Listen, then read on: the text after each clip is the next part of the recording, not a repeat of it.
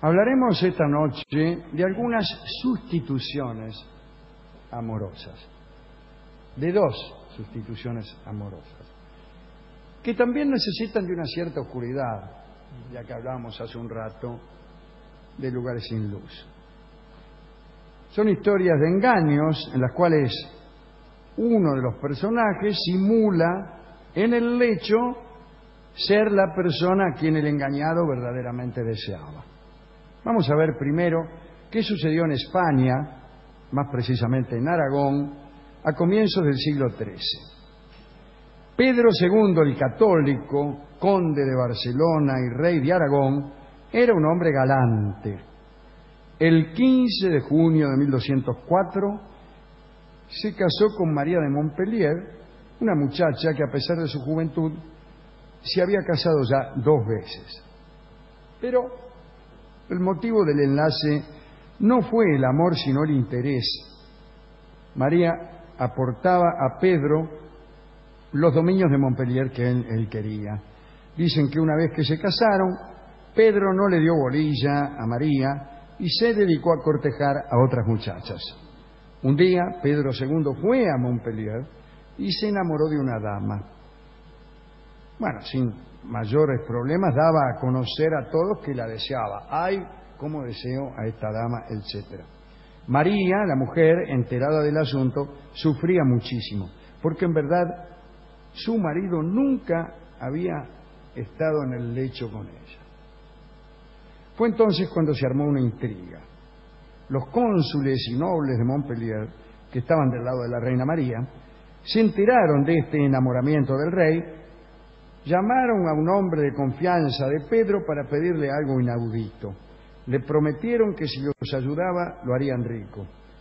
Aquel caballero de confianza del rey respondió a los nombres de, a los tipos de Montpellier que si lo pedido no era nada que manchase su reputación, haría lo que se le indicase. Y los nobles le pidieron lo siguiente. Dice, vos sabéis que Nuestra Señora la Reina es una de las más castas y honestas mujeres que hay, y sabéis que el rey está loco por otra mujer. Os rogamos que hagáis lo posible para convencer al rey de que la mujer de la que se ha enamorado se encuentra dispuesta a satisfacer sus deseos. Le diréis que ella se encontrará con él a oscuras en un aposento de palacio, y nosotros haremos que en vez de esa dama, la que yazga con el rey sea la reina. Un plan clarísimo. Mirá, la que te gusta a vos, esperala en, tal pieza que va ahí. Y la que está en la cama es la reina. Esto era posible, digámoslo, en épocas de mayor oscuridad que la actual.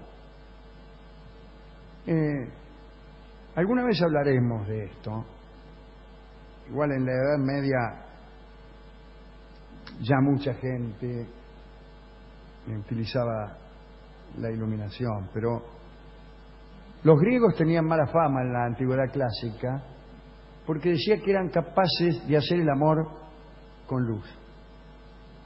Se suponía que la forma natural de ya ser un hombre con una mujer era el oscuro. En la antigüedad. en la antigüedad clásica, seguro.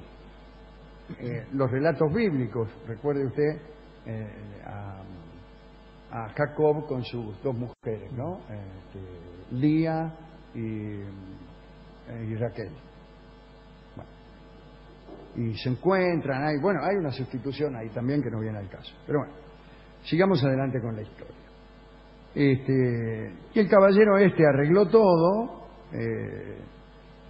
para que Pedro se uniera a María, ¿para qué? básicamente para engendrar un sucesor. Entonces, este, llegó la noche convenida, el hombre de confianza del rey le dijo que la muchacha lo esperaba en determinada habitación, el rey fue hacia allí, eh, entró a unos aposentos que estaban oscuras, dicen las crónicas que el rey sin saberlo holgó con la reina. O sea, la que estaba en la catrera era la reina. No le diría nada, yo no, sé, qué sé yo. Tampoco había conversado, al parecer, el rey con esta mina que le gustaba, no sé, bueno. Detrás de la puerta, 24 abades y priores y un representante del obispo escuchaban para certificar el éxito de la unión.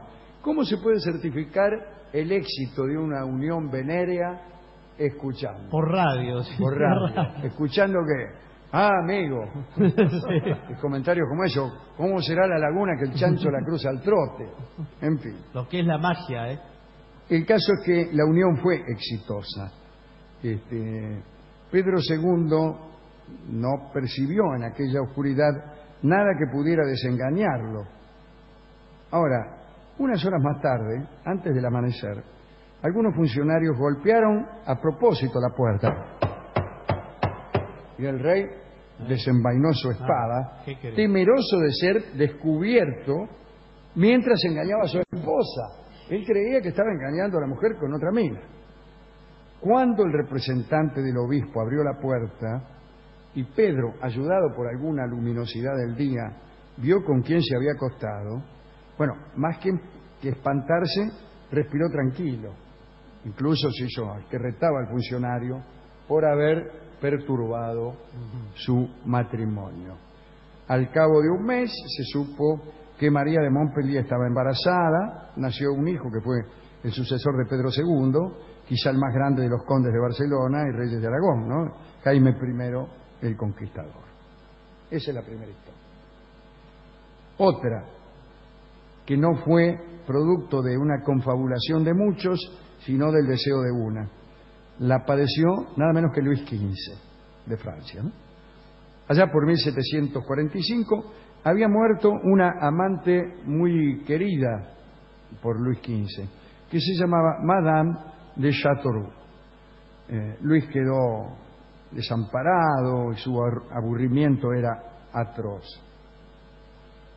Las damas de la corte, que hacía mucho tiempo que andaban esperando aquel momento, pasaron a la ofensiva para ocupar el lugar de favorita. ¿no? Luis XV estaba casado con una polaquita, María Lechinska, pero tenía, como todos los reyes eh, franceses de, de esa época, su, su favorita, etc. Muy bien. Entonces las chicas de Versalles se, eh, trataban de atraer la atención del rey. Algunas dejaban ver su, su escote exageradamente, otras se levantaban la falda, así como, como quien no quiere la cosa, otras utilizaban los servicios de unos cortesanos que hacían circular rumores halagadores sobre la experiencia de esta o aquella muchacha, o su temperamento, o preferencias amorosas, qué sé yo. Y todos los rumores llegaban a oídos del rey. La más decidida de estas muchachas fue Madame de Rochefort. Dicen que su audacia no tenía límites. Se ocultaba durante horas en los rincones del palacio o detrás de los matorrales del parque, por donde, bueno, por ahí sabía que iba a pasar Luis, y lo miraba, según el cronista, con pupilas cálidas. Mm. ¿Cómo me gusta que me miren con pupila cálida? Pero el rey, que estaba de duelo, pasaba sin dirigirle una sola mirada y solía decir de ella que era como los caballos de la caballeriza menor, siempre presentados y siempre rechazados. Madame de Rochefort estaba desesperada. Más lo estuvo cuando en una fiesta en la que Luis se disfrazó de árbol, conoció Sí. nada menos que a Madame de Pompadour, Pompadour, que sería su favorita durante mucho tiempo. En aquella fiesta, lo digo así como aparte, hubo también una sustitución, porque era un grupete de amigos del rey, jóvenes amigos del rey, y el rey. Y se habían disfrazado todos de árboles. Qué lindo. Las chicas sabían que el rey era uno de esos árboles, pero no sabían cuál. Y la señora de Porcel creyó adivinar que había, no sé si era un plátano o qué, que era el rey. Y lo empezó a perseguir. No era el rey, era otro tipo. Pero cuando el otro tipo vio que Madame de Portel lo perseguía creyendo que era el rey, no hizo nada para desmentir su identidad. Hizo como si fuera el rey. Y eh, tuvo un encuentro en donde obtuvo de la señora de Portel todas las ventajas que pudo desear. Y incluso Madame de Portel, que nunca se enteró de que no había estado con el rey, volvió al baile con las ropas en desorden, muy satisfecha del placer que creía haber recibido del rey. Esto es lo maravilloso del, am- del amor y de dejar que el engaño le gane a uno, no, no andar tratando de desengañarse. Digo yo mientras solicito que apaguemos el, el El aire, aire. por favor. Gracias. Bien. Eh, como dijimos, Madame de Rochechouart se entristeció cuando supo que poco después de esa fiesta, Luis se había hecho amante de Madame de Pompadour. Decidió entonces sustituirla al menos una vez. Sabía que el rey había recuperado toda su pasión y quiso aprovecharla. Y entonces empezó a observar cuáles eran los movimientos de Luis para encontrarse con su nueva amante, con la Pompadour. Notó que la nueva favorita entraba sigilosamente por la noche en el aposento del rey y se metía en su cama. La reina María Lechinska dormía en una habitación cercana, pero no en la del rey. Pero para evitar que la reina sospechara, la Pompadour hacía todos los movimientos en el mayor silencio y en la más cerrada oscuridad. Y eso fue lo que aprovechó Madame de Rochechouart. La sustitución se cumplió, pero fue un poquitín accidentada. El deseo de Madame de Rochechouart le impidió calcular un detalle. Imitó los movimientos de la Pompadour, entró en los aposentos del rey, se metió en su cama, lo abrazó y lo amó. Y después se fue. Al rato, ¿quién cae? La Pompadour. Mm. Se mete en los aposentos del rey, se mete en la cama, lo abraza y lo ama. El rey comprobó que algo andaba mal, pero no dijo nada. Al día siguiente, el rey se cruzó con Madame de Rochechouart. Dice el cronista que ella le lanzó una mirada cómplice que revelaba una gran intimidad. Chao, dijo el rey, es esta. Luis supo que había sido aquella siempre rechazada, la invasora, y se sintió ultrajado. Además del malestar que padeció, no quiso tener problemas con su esposa y con la nueva favorita, y entonces expulsó a Madame de Rochechouart de la corte por imprudente. Y entonces aquella muchacha, victoriosa pero triste, abandonó la villa y se dedicó durante largos años a contar su historia a los ciudadanos de París. Son dos historias lindas, ¿no?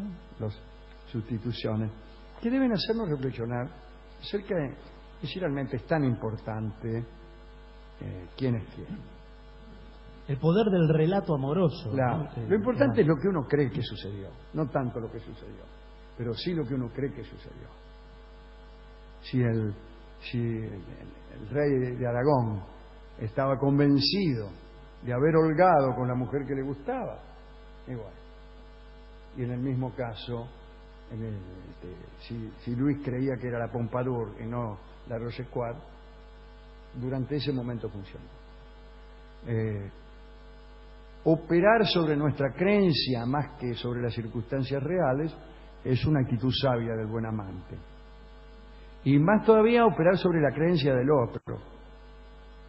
Hacer al otro creer que realmente está con la persona que más le gusta. Mm. Y si llega el caso, hacerle creer al otro que uno es la persona que más le gusta, aunque esto no sea del todo exacto. Mm. Porque no importa la exactitud de los sucesos, sino la fuerza de nuestras convicciones en el amor.